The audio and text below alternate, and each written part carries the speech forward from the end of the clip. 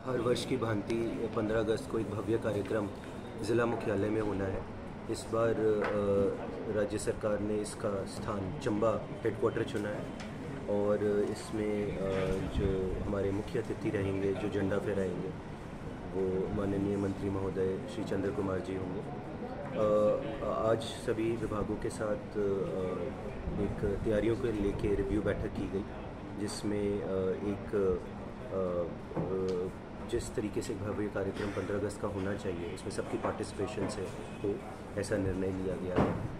और यहाँ पे चौगान में चंबा चौगान में 15 अगस्त को झंडा फहराने की रस्म और हमारे पेट्रियाटिक जो कार्यक्रम रहते हैं कल्चरल परफॉर्मेंस रहते हैं, वो, ये सारे एक दुरुस्त तरीके से जनता की भागीदारी से करने का प्रबंध किया गया है। साथ में ही एक मार्च पास्ट रहती है, जो एस पी साहब सभी कंटिजेंट्स को प्रिपेयर करवाते हैं और एक उम्दा मार्च पास्ट रहती है इस समय पे, वो भी होनी है।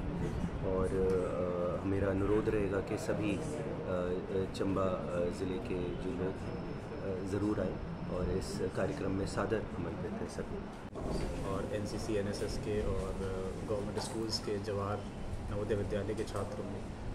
हमारी कोशिश यही रही कि एक भव्य परेड का आयोजन। बाकी जो सुरक्षा प्रबंध हैं, वो पंद्रह अगस्त के संवेदनशील स्थिति को देखते हुए जैसे सुरक्षा प्रबंध कड़े से कड़े हम कर सकते हैं, ये है। चंबा से सुभाष महाजन की रिपोर्ट एएमआई न्यूज़ हिमाचल।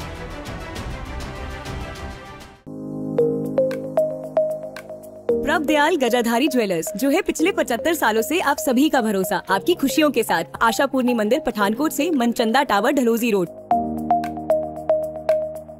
प्रभ दयाल गजाधारी ज्वेलर्स जो है पिछले 75 सालों से आप सभी का भरोसा आपकी खुशियों के साथ। आशा पूर्णी मंदिर पठानकोट से मनचंदा टावर डलहौजी रोड।